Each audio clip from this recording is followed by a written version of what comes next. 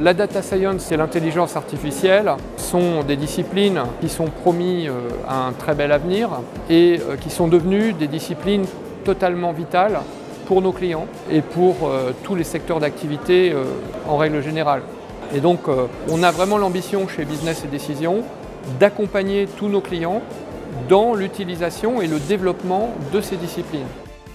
Alors, je suis venu ici pour témoigner de l'enjeu, l'importance de l'enjeu de la donnée dans le domaine de la santé. Aujourd'hui, la donnée, euh, on la pousse vers le délégué à travers un iPad, à travers des écrans interactifs qui lui permettent de découvrir, avant même de l'avoir rencontré, euh, finalement le portrait du professionnel de santé, euh, ce portrait 360 degrés panoramique, c'est la data qui lui donne. Ça va aujourd'hui plus loin grâce à un moteur de recommandation qui lui fait des suggestions d'action.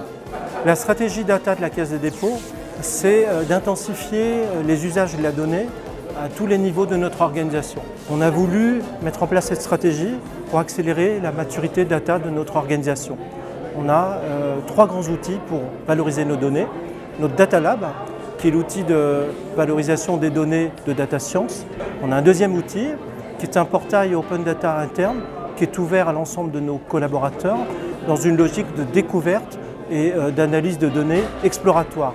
Et puis le troisième outil de valorisation des données est un service de fourniture de la donnée à la demande.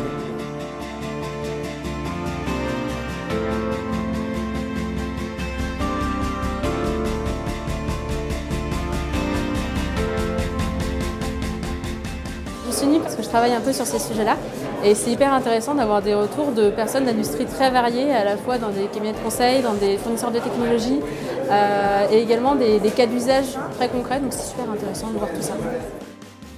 Aujourd'hui, on investit énormément dans la donnée, dans l'analyse des données, dans l'exploitation des données, dans la création des données. Ça représente des sommes de plus en plus importantes, mais on a du mal à mesurer les ROI. Donc là, les exemples concrets montrent aussi la façon de peut-être mesurer, de, se projeter dans la ROI. Qu'est-ce que la data peut nous apporter demain Le bilan de cette matinée, je crois, très très positif. On sent un, un engouement hyper fort. On a battu notre record de nombre de participants euh, cette année sur un événement business et décision. Ça montre bien qu'il y a un enthousiasme, un intérêt du marché au global sur tous les sujets de la data et de l'IA. Donc j'espère que cette matinée a apporté beaucoup de valeur aux participants, mais je crois que oui, au vu des différents retours que j'ai eus. Donc un gros enthousiasme, beaucoup de monde, une vision euh, complète et concrète autour de, la data. C'était vraiment une matinée euh, passionnante.